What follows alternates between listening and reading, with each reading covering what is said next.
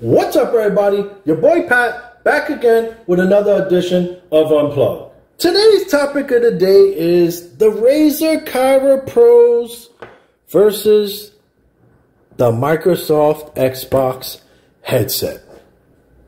This is a Heat Rocks production.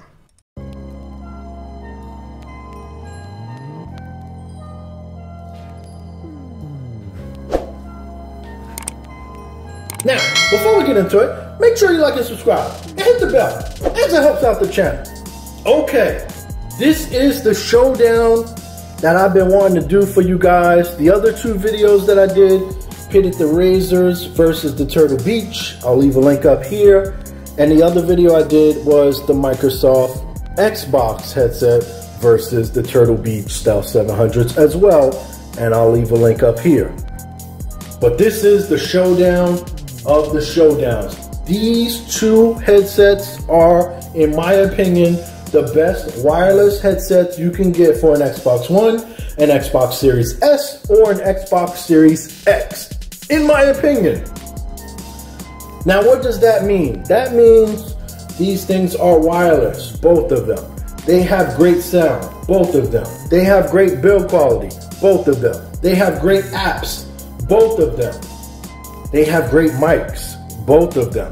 They are also able to connect wirelessly to the Xbox, wirelessly to your controller, and wirelessly and simultaneously to a Bluetooth speaker, phone, whatever you want. So if you want to game and listen to music, both of these do it. If you want to game and be able to take phone calls as they come in, these will both do it. You'll hear the phone ring in your headset you say hello, it cuts off the Xbox sound and it goes right to your phone call. It cuts off the game sound, it cuts off the chat sound, goes right to your phone call.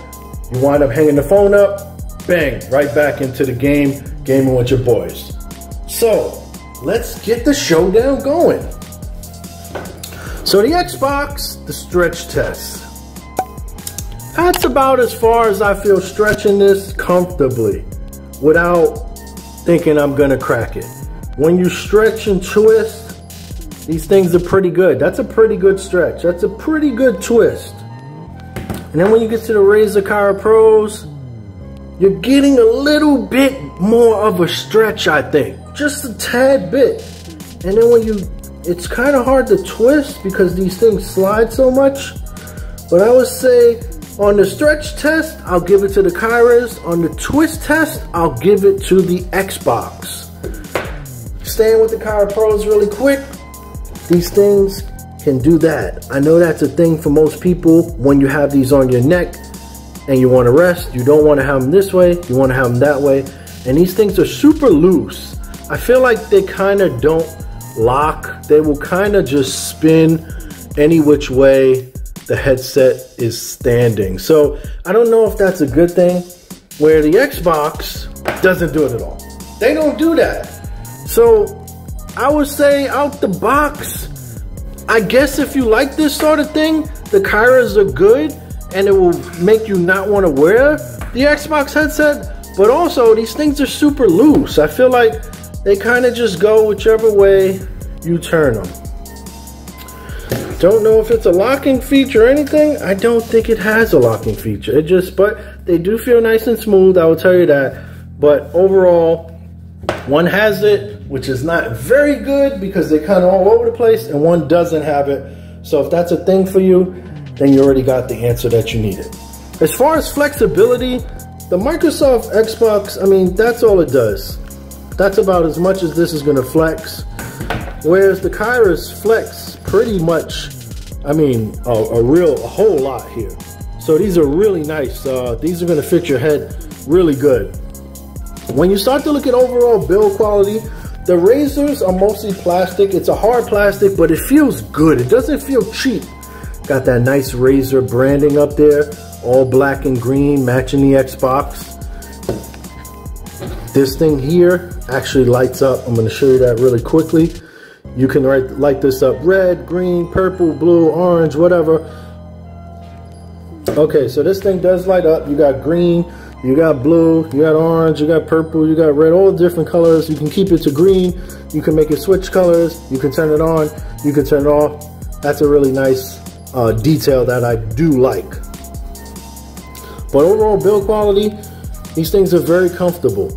I will tell you, this is a nice material. Really nice and plush. Not as deep as the Xbox. We'll get into it in a minute, but I feel your ears will be fairly comfortable if you have any kind of concerns that you would not be comfortable wearing these. These are amazing to wear. These are some of my favorite headsets to wear when I'm playing a game. Mic support, we'll get into it in a second, but let's talk about the Xbox and their build quality.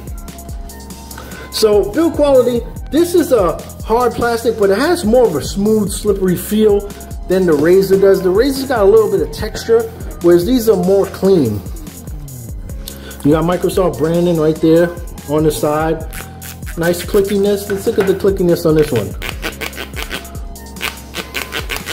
I feel like I feel like these are just a little they feel good, but I feel like they might snap one day. Whereas these, I feel like they're not gonna snap. I don't know.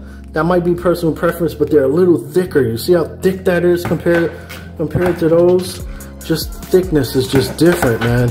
And I feel like these are built a little bit better there in that department. Ear cushions, these are the most uh, comfortable ear cushions I've worn on a headset for an Xbox. Nice plush, really feels good. Nice amount of thickness there too, just really plush. That's the right ear, that's the left ear. So I would say, in my opinion, these are just better to wear. They just feel great. Not saying that these don't feel great. They feel really good, but these just get a just another extra level of just comfort in my opinion. Now let's get into the mics real quick. There's a big difference in mics here on both of these headsets. One, the Microsoft headset is just this. It's connected, it can't be taken off, and it bends a little bit. I mean, when you actually store it, you can store it that way, but it doesn't stay all the way up. Sound really good, when you're talking to your friends and you stop talking, they're not going to hear anything else in your background.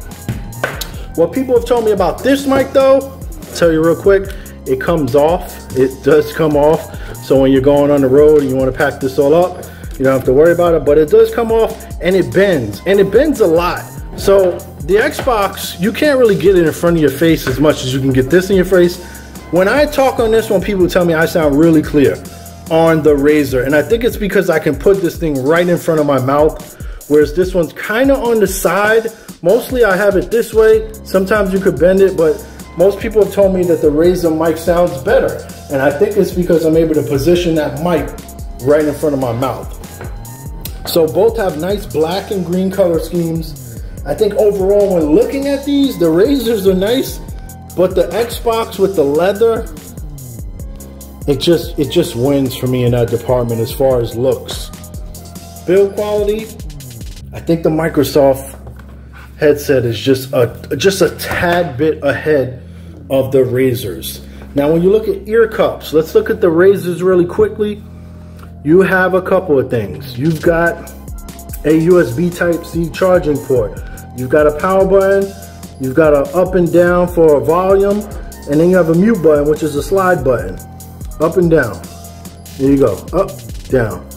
And then on the other side, you have a chat mix button, you've got a Bluetooth connectivity button, and you have a sync button. On the Xbox, you've got a mute button underneath the mic, you've got a power on off, and then this is really cool. This is the volume right here. This whole thing is the volume, it turns. And on the other side, this is the chat mix. And on the other side, the only thing else you have there is a Microsoft USB, um, not a Microsoft USB, a USB Type-C port. So both of these have USB Type-C, great. Both of these are great in the battery department. You're gonna get 15 to 20 hours. There's the difference with the Razers, whether you have this RGB lighting on or off, and I'll put it right here for you so you can see the difference. So app support both are really good as far as being able to customize the sound that you want from these headsets. How these things sound. Everybody's gonna like sound a little bit different than the next person, but Both of these have app support. They have great app support, EQ support, where you're able to go in, adjust your mids, adjust your highs, adjust your lows, adjust your bass, adjust your treble. They have custom sets, they have presets. The only difference I would say between these two, the Razers, you download the app on your PC and you go from there. The Microsoft is fully integrated inside of the Xbox when you turn these things on, you go into your settings in your Microsoft, nothing extra, and you just start playing around in the accessories app for your Microsoft headset. Also can update it there as well wirelessly. So I would give the advantage with the app support to the Microsoft headset because of the integration within their system. Price. When we talk about price, the Microsoft Xbox headset is $99.99. For a first party headset, that is outrageous for them to have such a quality, high end, great spec looking headset for such a cheap price. I'm not sure if they make money on this headset or not, but for $100, you cannot go wrong. I don't care what headset you put in front of me. For $99.99, first party headset, Microsoft nailed this one. On the other hand, the Razer Kaira Pros are a little bit more expensive at $150. So if price point is your only concern, the Xbox headset is a great value. I don't think for another $50, the Razers do anything head and shoulders above what the Microsoft Xbox headset does. So if price is the only option, I'm gonna say go with the Microsoft Xbox headset. But if price is not a difference, I'm gonna say still go with the Microsoft Xbox headset because of the fact that we could look at all the different things. We could look at does the headset twist and turn and have flexibility? Does the headset have nice plush materials? Is it a really good quality? Does it stretch good? Does it twist good? How's the app support? How's the functionality? Where are the buttons? We can look at all that stuff. And the one thing I will tell you that's going to make your life just more pleasurable when using both of these headsets is one, Microsoft right out of the box when you purchase these is going to give you three months of Dolby Atmos for free to try it out, which is going to put your sound next level. Make sure you have a compatible TV so you can enjoy the sound and experience the difference. The other thing is the app support is integrated inside of the Xbox. So if you don't have a PC, if you don't want to connect to your laptop, you never need to leave your Xbox and that gives the Microsoft headset a huge advantage. From a sound portion profile, it's personal preference, man. These both sound great. They both have EQ, so you can manipulate all of the sound settings to your liking. So in my opinion, I'm gonna go with the Microsoft Xbox headsets in this showdown. But if you decided to go with the Razer Kaira Pros, maybe you like the fancy lights, maybe you like the removable microphone, you're not going to have any regrets with the Razer Kaira Pros.